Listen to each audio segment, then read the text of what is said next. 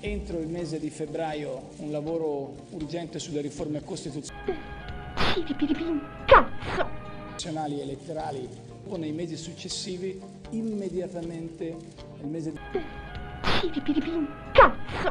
di marzo la questione del lavoro, nel mese di aprile la riforma della pubblica amministrazione, nel mese di maggio quella del fisco. Cazzo! Immediatamente nel mese di marzo la questione del lavoro Cazzo!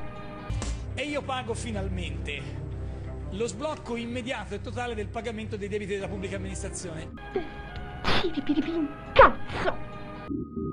nel mese di aprile, quindi l'ultimo giorno utile, con eh, la proposta che il governo intende fare sul tema della riforma della pubblica amministrazione.